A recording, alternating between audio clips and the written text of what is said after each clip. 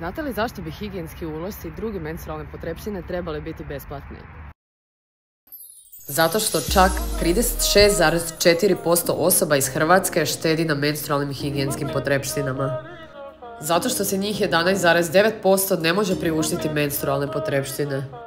Zato što se 10% osoba ne može priuštiti lijekove za smanjenje bolova.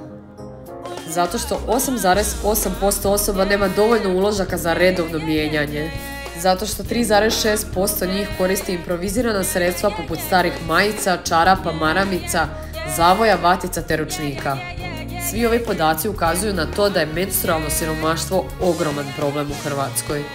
Tužno je znati da si neke osobe doslovno ne mogu priuštiti menstruaciju. Kako bi se problem menstrualnog siromaštva riješio, od 2022. godine EU dopušta zemljama članicama da ukinu porez na menstrualne potrepštine. Do sada je to učinila jedino Irska. Menstruacija ne smije biti luksuz.